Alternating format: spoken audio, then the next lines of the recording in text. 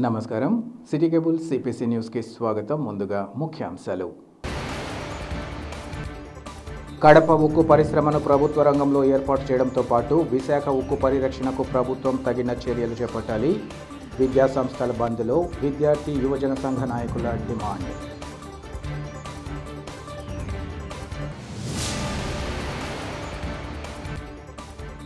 చంద్రబాబుతోనే రాష్ట్రం అభివృద్ధి చెందుతుందన్న TDP polit bureau సభ్యుడు శ్రీనివాసులు రెడ్డి ముప్పై ఆరవ డివిజన్లో జరిగిన కార్యక్రమంలో టీడీపీలోకి పలువురు చేరిక.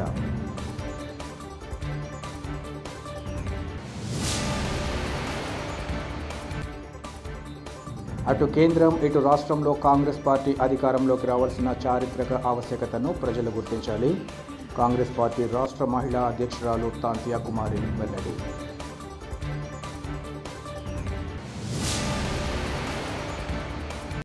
చంద్రబాబుతోనే రాష్ట్రం అన్ని విధాల అభివృద్ధి చెందుతుందన్న విషయాన్ని ప్రజలు గుర్తించాలని టీడీపీ పోలిట్ బ్యూరో సభ్యుడు శ్రీనివాసులరెడ్డి కడప నియోజకవర్గ ఇన్ఛార్జ్ మాధవిలు తెలిపారు.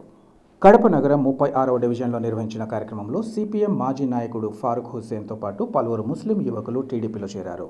ఆయనకు శ్రీనివాసులరెడ్డి కండువా వేసి పార్టీలోకి సాదరంగా ఆహ్వానించారు. అంతను అగాడి నాలుగు రోడ్ల కూడల నుంచి బాబుతో నేరు కరపత్రాలు పంచుతూ భవిష్యత్తుకు గ్యారంటీ పథకాలను ప్రజలకు వివరించారు. అనంతరం వారు మాట్లాడుతూ ప్రజలకు మౌలిక సదుపాయాలు కల్పించడంలో వైసీపీ పాలకులు ఘోరంగా వైఫల్యం చెందారన్నారు. సహజ వనరులను దోచుకొని దాచుకోవడం తప్ప ప్రజా సంక్షేమం అభివృద్ధిపై వారికి ఏమాత్రం చిత్తశుద్ధి లేదన్నారు. గత ఎన్నికల సందర్భంగా వైసీపీ నేతలు కల్లబుల్లి మాటలు చెప్పి అధికారంలోకి రావడం జరిగిందని రాష్ట్రంలో అభివృద్ధి అనే మాట లేకుండా కేవలం అప్పులు తెచ్చి సంక్షేమ పథకాలను అందిస్తూ రాష్ట్రాన్ని అప్పుల పాలు చేస్తున్నారని విమర్శించారు.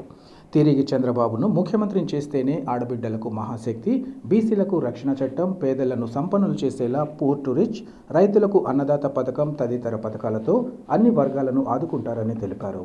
ప్రతి ఒక్కరూ టీడీపీని ఆదరించాలని సందర్భంగా కోరారు. ఈ కార్యక్రమంలో పలువురు టీడీపీ నాయకులు స్థానిక ప్రముఖులు మహిళా కార్యకర్తలు పాల్గొన్నారు.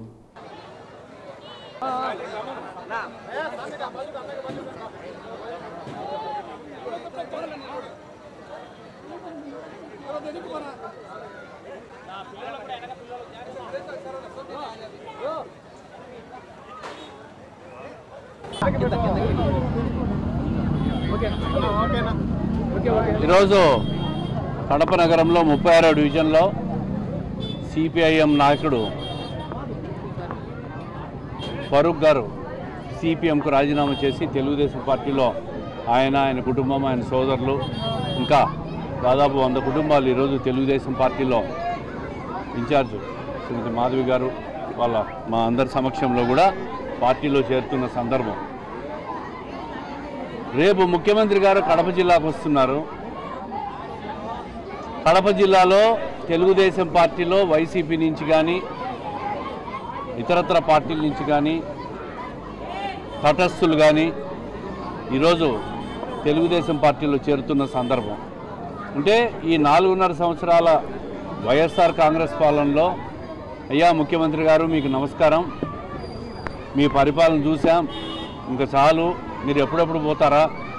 మేము ఎన్నికలు ఎప్పుడు వచ్చినా కూడా తెలుగుదేశం పార్టీకి ఓట్లు వేసేదానికి సిద్ధంగా ఉన్నామని చెప్పి బహిరంగంగా అందరూ పార్టీలో చేస్తున్న పరిస్థితిని చూస్తూ ఉంటే ఈ ప్రభుత్వ పనితీరు ఎంత అధ్వానంగా ఉందో ప్రజలే చెప్తూ ఉంటారు ఎక్కడికి పోయినా మేము తెలుగుదేశం పార్టీలో ఈరోజు అందరూ కూడా మేము వస్తాం. చంద్రబాబు నాయుడు గారి పరిపాలన కావాలని చెప్పి కోరుకుంటా ఉన్నారు. ఈ రాష్ట్రంలో పరిస్థితి ఎంత అధ్వానంగా ఉందంటే సంక్షేమ ముసుగులో అబద్ధాలు చెప్పి నిజమైన లబ్ధిదారులందరినీ తొలగించేశారు. అభివృద్ధి ఉందా అని చెప్తే ఒక్క రూపాయి కూడా అభివృద్ధికి పెట్టుబడి పెట్టిన పరిస్థితి ఈ రాష్ట్ర ప్రభుత్వానికి లేదు అప్పుల్లో కూరకపోయింది. ఈ పరిస్థితుల్లో ఈ రాష్ట్రాన్ని గట్టెక్కించగలిగిన ఒకే ఒక నాయకుడు చంద్రబాబు నాయుడు గారు అని చెప్పి ప్రజల్లో సంపూర్ణ విశ్వాసం ఉంది. కడపలోనే కాదు కడప జిల్లాలో కూడా రేపు ఎన్నికలు ఎప్పుడు జరిగినా కూడా అన్ని స్థానాలు కూడా కైవసం చేసుకునే అవకాశాలు స్పష్టంగా కనిపిస్తూ ఉన్నాయి. మేము మరింత ప్రజలేకపోతాం ప్రజల్లో విశ్వాసం కల్పిస్తాం మరింత మంది కూడా పార్టీలోకి చేస్తాం. ప్రతి ఒక్కరూ తటస్థులు కానీ వైసీపీ వాళ్ళు కానీ ఎవరైనా కూడా తెలుగుదేశం పార్టీలోకి రావచ్చు. మేము గేట్లు ఓపెన్ చేశాం. అందరు రండి అందరూ పార్టీని బలోపేతం చేయండి. కష్టపడి చంద్రబాబు నాయుడు గారిని ముఖ్యమంత్రి చేసి ఈ రాష్ట్రాన్ని ముందు గట్టెక్కిస్తాం.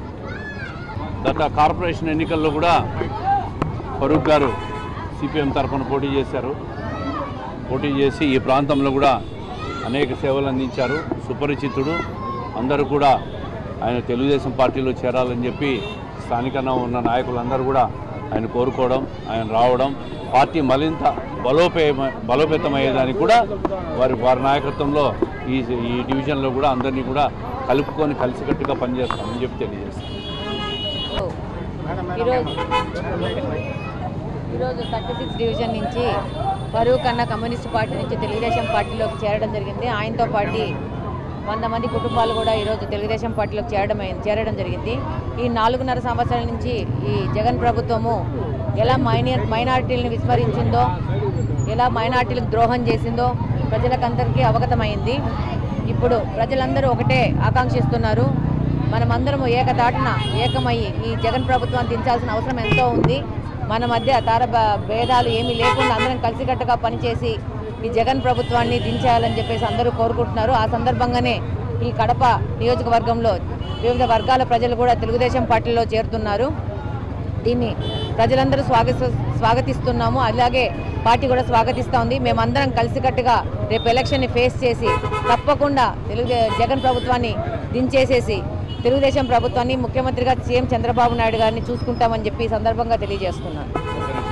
కడప ఉక్కు పరిశ్రమ ప్రభుత్వ రంగంలో ఏర్పాటు చేయడంతో పాటు విశాఖ ఉక్కు పరిరక్షణ ప్రభుత్వం తగిన చర్యలు చేపట్టాలని విద్యార్థి యువజన సంఘాల నాయకులు డిమాండ్ చేశారు.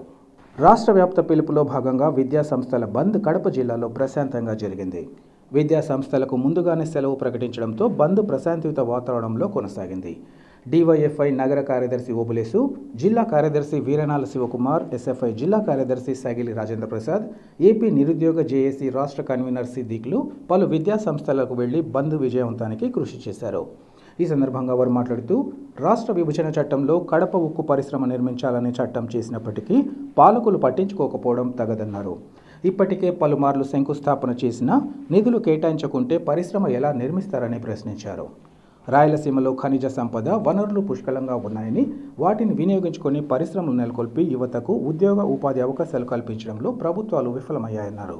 ఇదే క్రమంలో ఎన్నో పోరాటాల ద్వారా సాధించుకున్న విశాఖ ఉక్కు పరిశ్రమను ప్రైవేటీకరణ చేసే చర్యలను కేంద్రం తక్షణమే మానుకోవాలని హితవు పలికారు. ఈ అంశాలపై ప్రభుత్వాలు స్పందించకపోతే భవిష్యత్తులో పోరాటాలు మరింత పెద్ద ఎత్తున నిర్వహించాల్సి వస్తుందని వారు హెచ్చరించారు.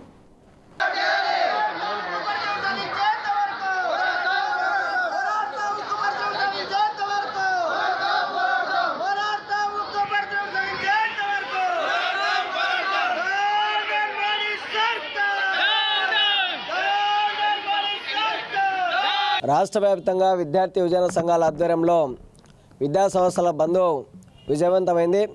ప్రధానంగా విశాఖ ఉక్కు ముప్పై రెండు మంది బలిదానాలతోటి సాధించుకున్నటువంటి ఉక్కుని ఇవాళ కేంద్ర ప్రభుత్వం కారు చౌకగా కార్పొరేట్లకు అమ్మకాన్ని పెట్టింది. ఈ నిర్ణయాన్ని తక్షణమే కేంద్ర ప్రభుత్వం ఉపసంహరించుకోవాలని రాష్ట్రంలో రెండు వేల ఏడులో వైఎస్ రాజశేఖర రెడ్డి గారు శంకుస్థాపన చేసి తన తనయుడు జగన్మోహన్ రెడ్డి కూడా వేశాడు. అయినా శంకుస్థాపన రాళ్ళు ఇవాళ రాయలసీమ ప్రజలకు సమాధి రాళ్ళుగా ఎక్కిరిస్తూ ఉన్నాయి.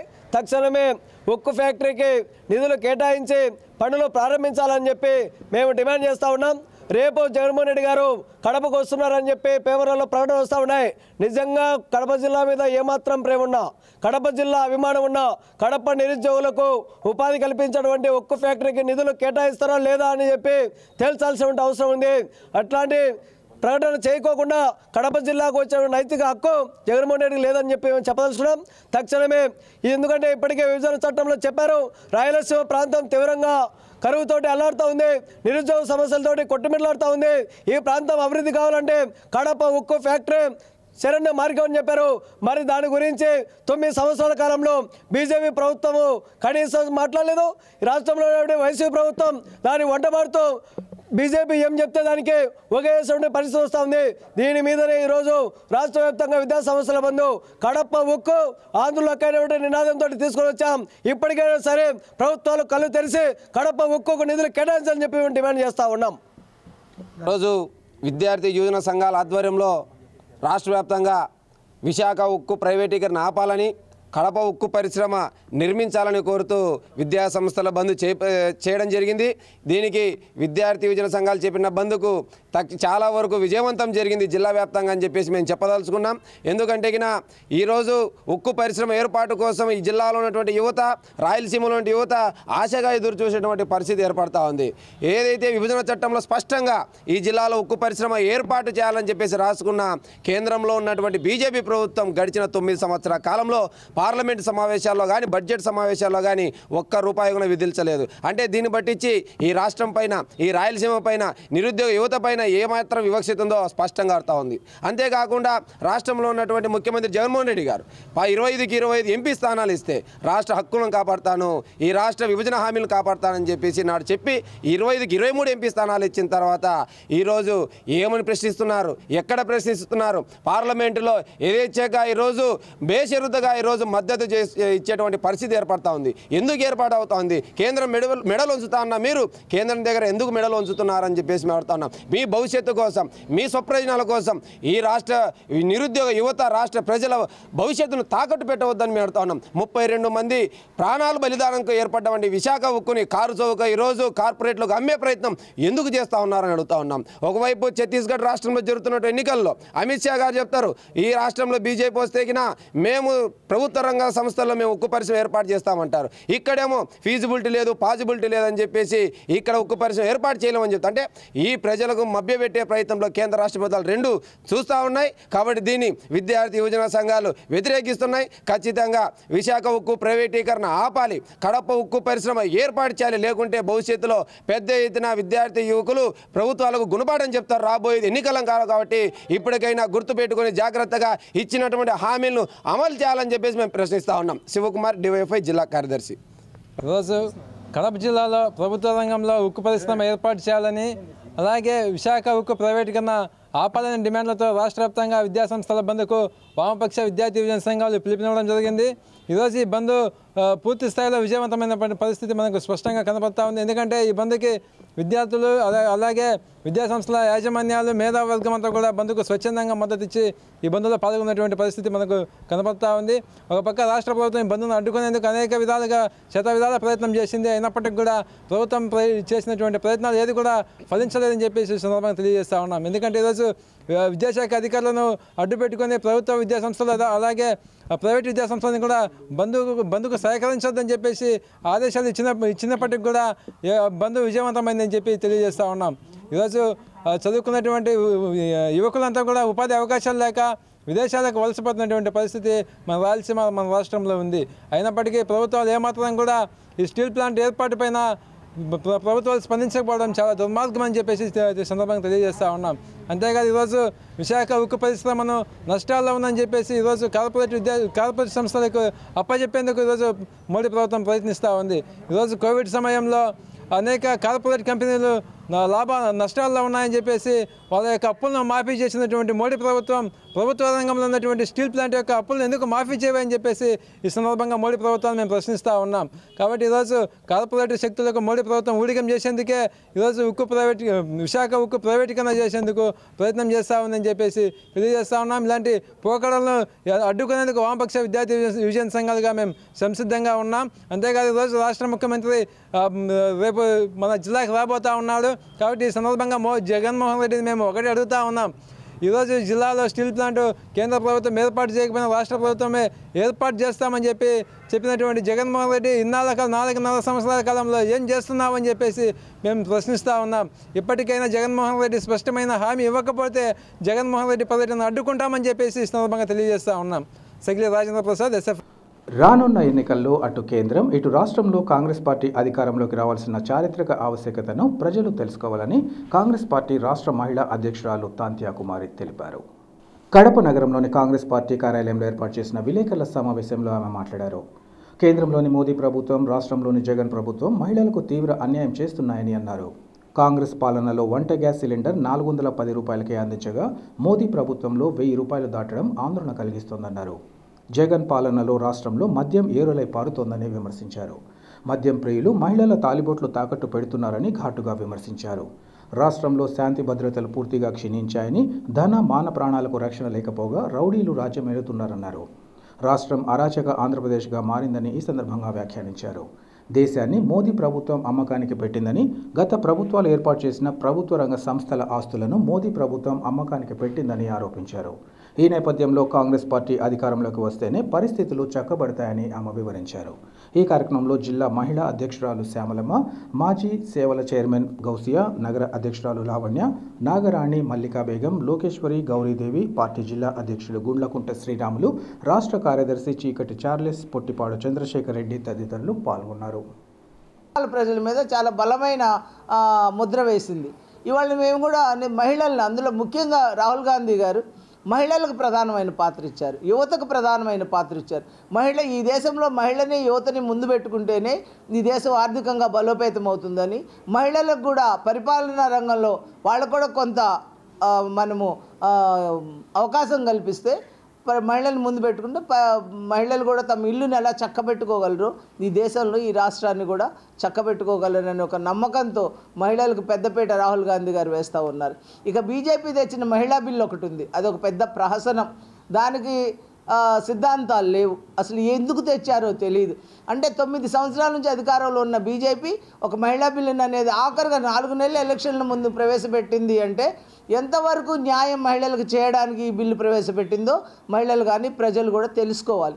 ముఖ్యంగా మహిళా బిల్లు అనేది జనగణన జరగాలి. మహిళలు ఎంతమంది ఉన్నారో చూసుకోవాలి. అంతేకాకుండా నియోజకవర్గాల పునర్విభజన జరగాలి.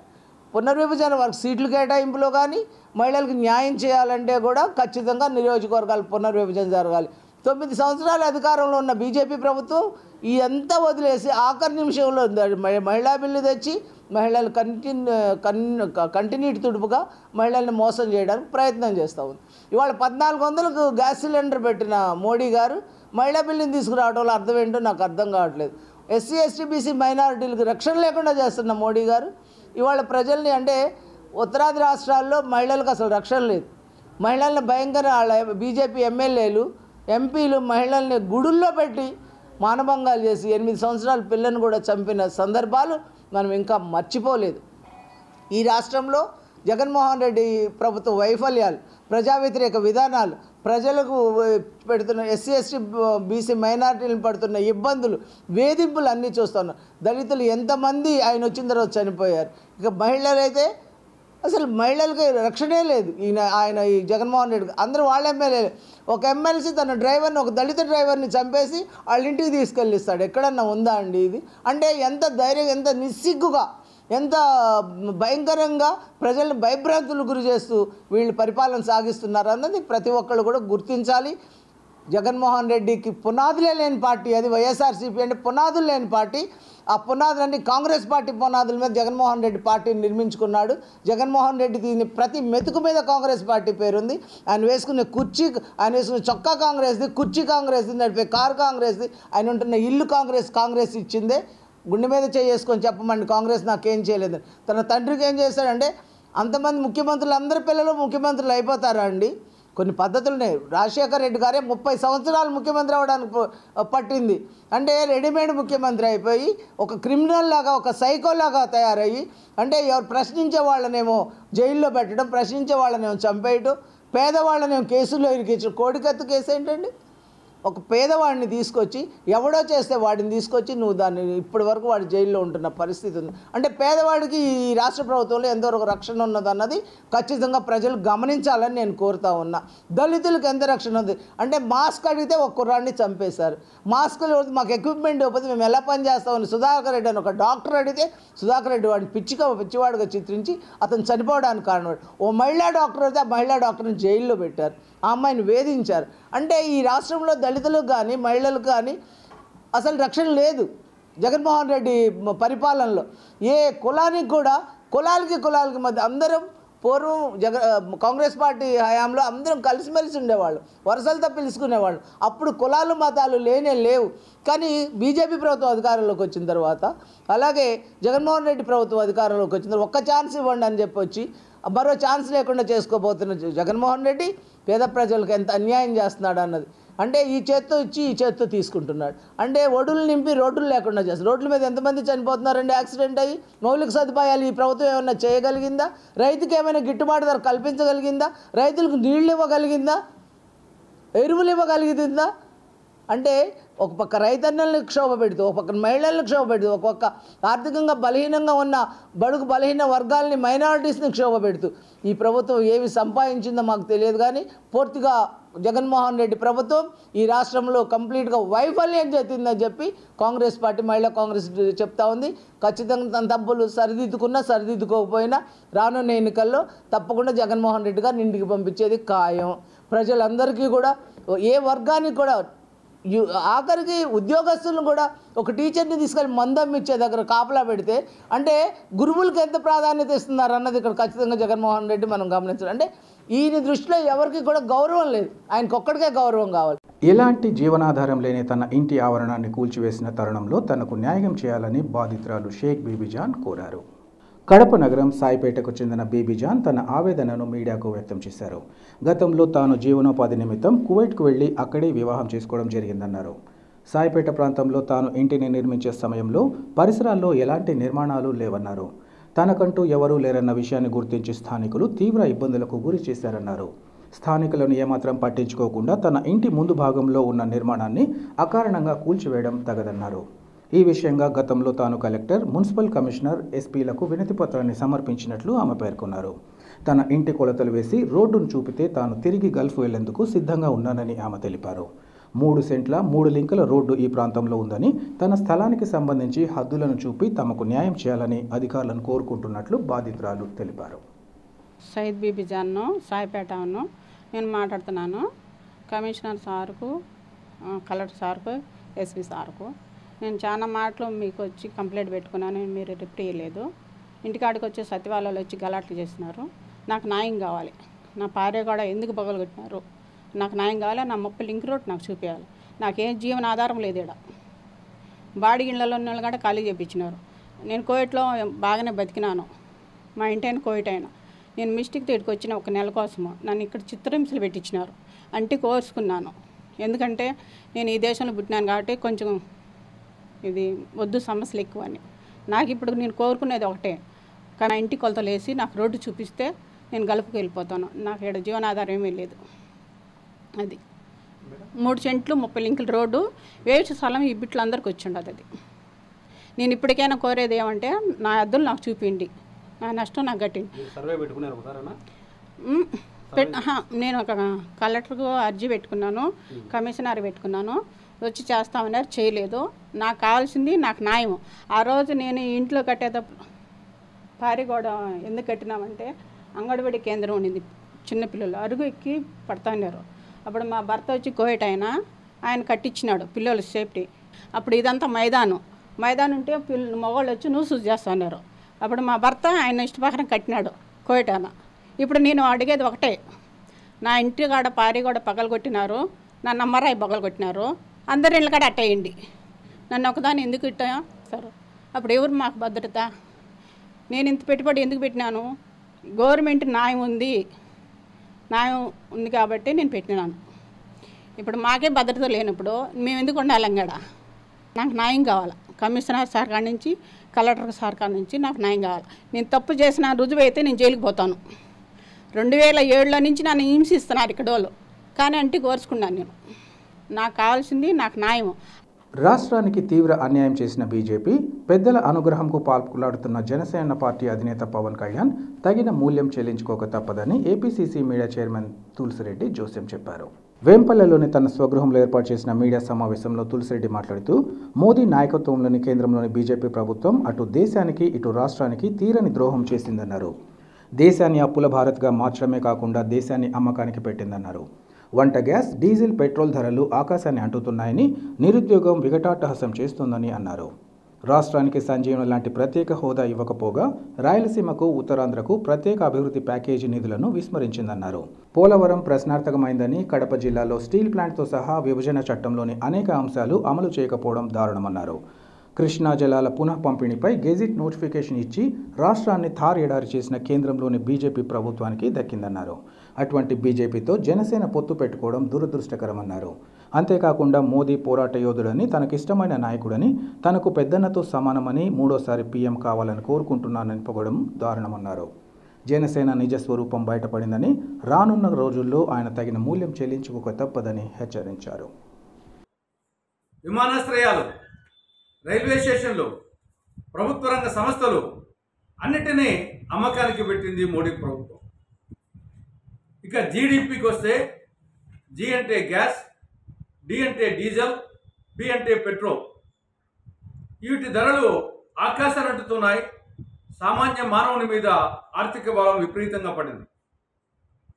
గత నలభై సంవత్సరాల్లో ఎన్నడూ లేని విధంగా నిరుద్యోగం వికటాట్టహాసం చేస్తూ ఉంది. పద్నాలుగు లక్షల కేంద్ర ప్రభుత్వ ఉద్యోగాలు ఖాళీగా ఉన్నాయి ఒక సైడు. మరొక సైడ్ నిరుద్యోగం ఉంది. వాటిని భర్తీ చేయలేదు.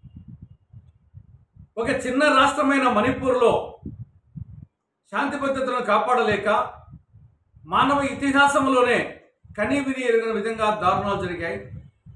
అక్కడ ఉండే డబుల్ ఇంజన్ ట్రబుల్ ఇంజన్గా మారిపోయింది. దేశ ప్రజలకు అచ్చే దినాలు బదులు చచ్చే దినాలు వచ్చాయి. సబ్కా వికాస్ బదులు సబ్కా వినాశ్ జరుగుతా ఉంది. ఇక ఆంధ్రప్రదేశ్కు సంబంధించి నరేంద్ర మోడీ చేసిన ద్రోహం అంతా ఇంత కాదు. రాష్ట్రానికి సంజీవని లాంటి ప్రత్యేక హోదాకు పంగనామాలు పెట్టింది. రాయలసీమకు ఉత్తరాంధ్రకు బుందేల్ఖండ్ తరహా స్పెషల్ డెవలప్మెంట్ ప్యాకేజీకి తిలోదకాలు ఇచ్చింది. కడప జిల్లాలో శైలాధ్వర్యంలో స్టీల్ ప్లాంట్కు స్వస్తి పలికింది.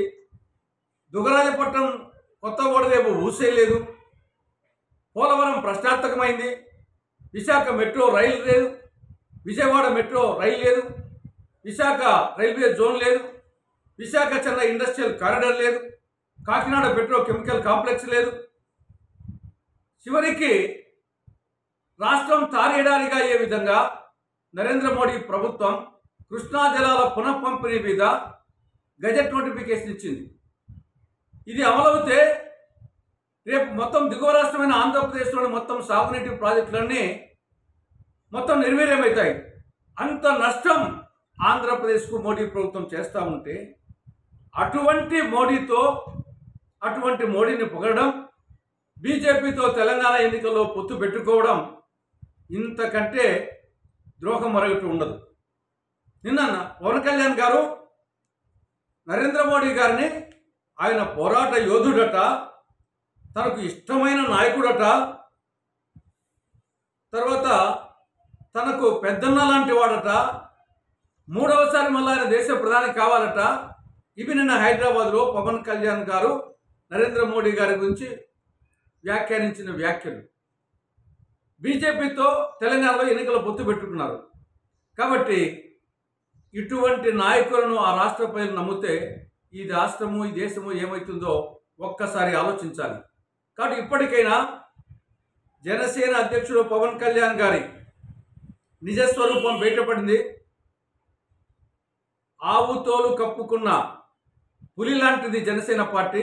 ప్రజలు అర్థం చేసుకోవాల్సిందిగా కాంగ్రెస్ పార్టీ విజ్ఞప్తి చేస్తా ఉంది. వార్తలు ముగించే ముందు ముఖ్యాంశాలు మరోసారి.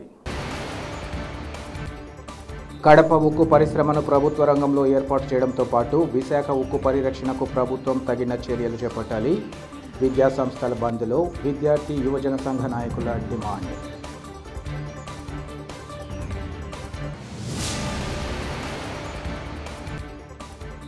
చంద్రబాబుతోనే రాష్ట్రం అభివృద్ధి చెందుతుందన్న టీడీపీ పోలిట్ బ్యూరో సభ్యుడు శ్రీనివాసులు రెడ్డి ముప్పై ఆరవ డివిజన్లో జరిగిన కార్యక్రమంలో టీడీపీలోకి పలువురు చేరిక.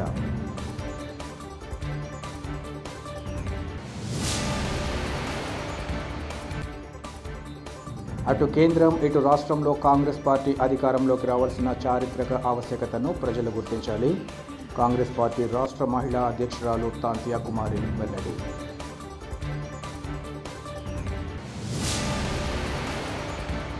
సిటీ కేబుల్ సిపిసి న్యూస్ ఇంతటితో సమాప్తం నమస్కారం